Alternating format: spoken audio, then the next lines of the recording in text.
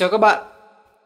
Thì ờ, hôm nay mình xin giới thiệu với các bạn một cái phụ kiện Rất là hay ho. Cái này ờ, có tên gọi là khung gắn điện thoại lên tripod. Đây, các bạn có thể lên Google, các bạn search cái từ này. Khung gắn điện thoại lên tripod. Các bạn lên uh, Google các bạn search. Uh, các bạn sẽ thấy một cái website nó là Metrophone ấy. Thì các bạn sẽ vào đấy các bạn xem thì họ bán cái này với giá hình như là 50.000 đồng. Rồi thì cái này có tác dụng gì? Thì đầu tiên là nghịch xem đã nó như thế nào đã. Đây các bạn nhìn này. Ấy mình có thể kéo nó dài ra. Cái này thì mình có thể kéo nó như thế này. Ở trong này nó có một cái lò xo nó giữ khi mà chúng ta kéo rồi, nó sẽ dài cái này ra. Đấy.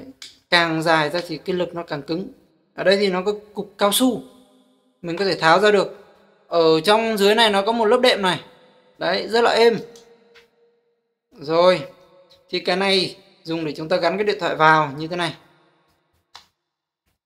Đấy, gắn cái điện thoại vào như thế này để làm gì? Đây này gắn vào như thế này để làm gì? Để chúng ta quay phim. Đấy thì bình thường đây mình có một cái tripod như thế này này. Đây là cái tripod tức là cái chân chống máy ảnh nhá. Đấy thì uh, ở đây thì nó có một cái bộ phận như thế này.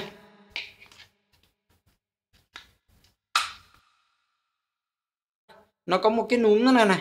Đấy à, một cái một cái ốc như này để chúng ta gắn cái máy ảnh đứng lên đây hoặc gắn cái máy quay phim lên đây. Đấy.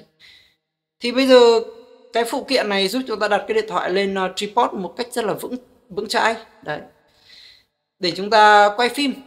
Thì khi mà các bạn kết hợp điện thoại với lại tripod các bạn quay phim nếu mà chúng ta biết cách quay thì thước phim của chúng ta cũng chuyên nghiệp không không kém gì những cái ờ, thức phim được quay từ máy ảnh và máy quay phim nhé mình sẽ gắn thử nó lên tripod cho các bạn xem nhé đây cách gắn rất đơn giản thì ở cái đầu tripod nó có cái cục này này. Đấy. chúng ta đặt nó vào thế này. Chúng ta vặn con ốc ở bên dưới này. Rồi siết siết vài cái là nó chặt thôi. Ok, rất là chắc, nhiệm vụ bây giờ là chúng ta đặt nó lên tripod thôi. Đây, tripod này thì là tripod Benro. Lát nữa mình sẽ chỉ cho các bạn chỗ mua. Đây, chúng ta cho cái màn hình về phía chúng ta. Đấy. Khóa cái khóa này lại. Ok. Điện thoại được gắn lên tripod rất là chắc chắn và nhìn quay phim rất là chuyên nghiệp. Đấy. cái tripod này thì bởi vì là cái không gian quay nó hẹp quá nên mình không review cả cái tripod này được. Mình chỉ để cho nó nằm xuống cho các bạn hình dung thôi. Đấy. Tripod thì nó có tác dụng là lia liên ngang này, đấy. Xuống, lên.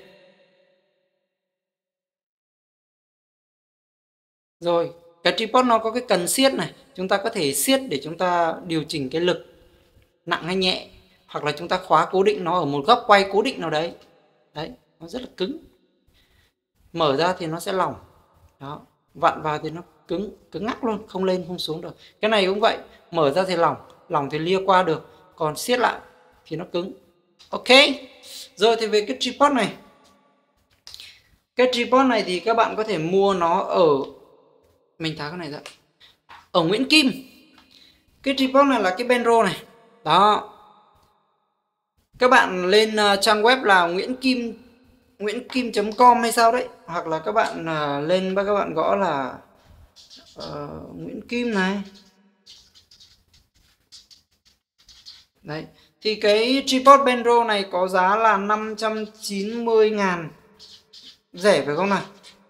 Các bạn có thể sử dụng được cho máy quay phim, máy chụp hình. Đấy và cả điện thoại nếu mà có phụ kiện kết nối.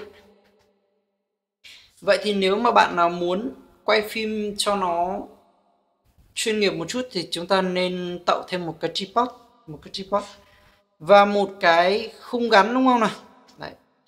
Thì như thế này thì sẽ hỗ trợ các bạn rất là nhiều.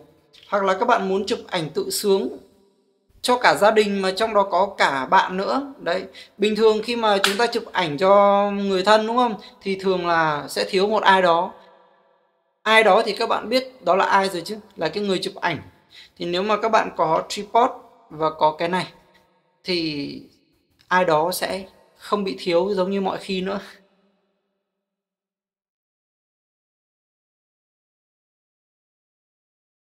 Ví dụ như cái điện thoại của bạn to quá thì các bạn mở nó ra như thế này. Đó. Điện thoại của các bạn mà bề ngang nó rộng quá thì chúng ta mở thế này ra.